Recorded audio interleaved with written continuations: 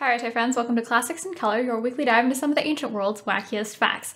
I'm Marc Graves, and today, in honor of the holidays, we will be talking about toys, but they will be toys of an adult nature.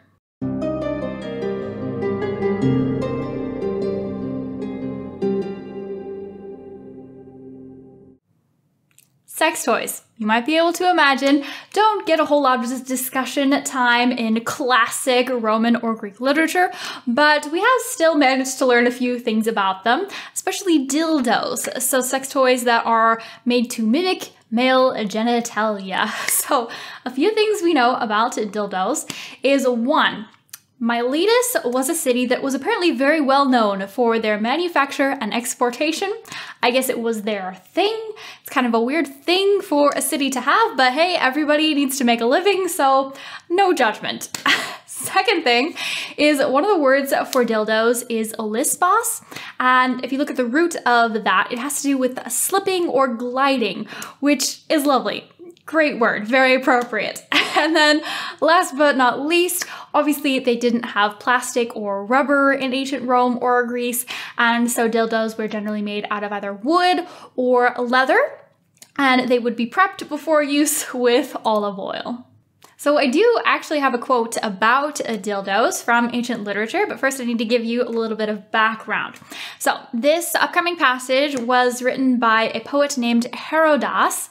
He lived about the 3rd century BC-ish, thereabouts, and he specialized in mimes. Now when I say mimes, do not picture the person with the white face and the invisible wall. We're talking about a different genre. So in ancient Greece and Rome, Mimes were a little bit like sketches that you might see on a sitcom or on a late night show.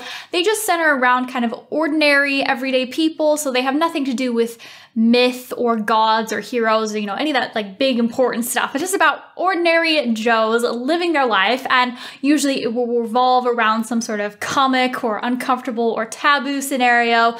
Often there is sex involved, so it's that kind of just comic, uh, entertaining thing. And Herodotus wrote a lot of these mimes, and so the passage comes from mime number six.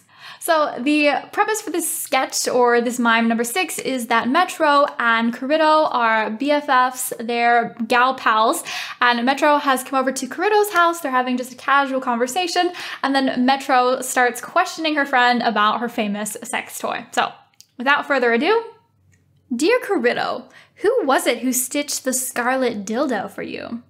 And where, Metro, did you see that? Nossis, daughter of Erinna, had it two days ago. Ah, what a fine gift. Nossis, from whom did she get it? Will you disparage me if I tell you?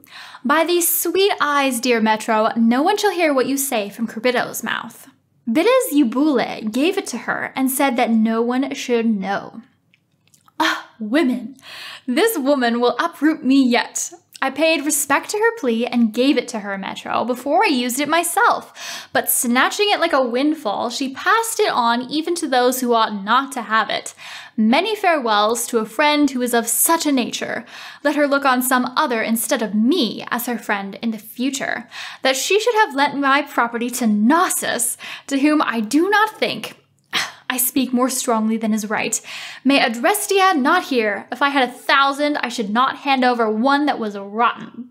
So some great tea spilling, backstabbing, you know, mean girl gossip going on here.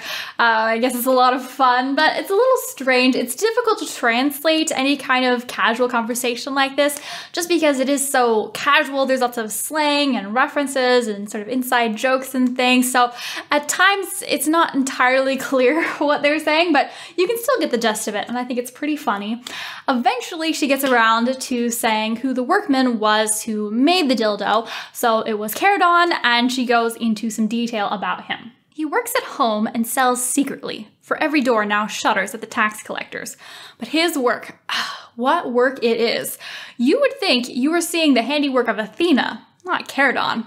When I saw them, for he came with two, Metro, my eyes swelled out at first sight. If you look for another cobbler better disposed to a woman, you will not find one. And then Metro responds, How then did you let the second one go? Metro, what did I not do? What persuasion did I not bring to bear on this guy? Kissing him, stroking his bald head, pouring him a sweet drink, calling him daddy, almost giving him my body to use. But if he asked for that too, you should have given it. Yes, I should have, but it is not decent to act unseasonably. So again, the translation here is a little clunky, but the idea is that she had to butter up this fellow quite a lot in order to get the dildos from him, and that she would have even have been willing to sleep with him if it came to that. That's the joke, right? Apparently the dildos are just that good. Thank you so much for checking out this video. I hope you get a lot of pleasure out of your holiday. I know I would get a little pleasure out of you maybe checking out my Patreon. I will be posting a bonus Q&A video soon, so that will be there as well as all the other content that is on there. But that is enough of my cringy plug. Thank you so much for your patience and your support as always, and I hope all of you have a wonderful holiday. Chairete.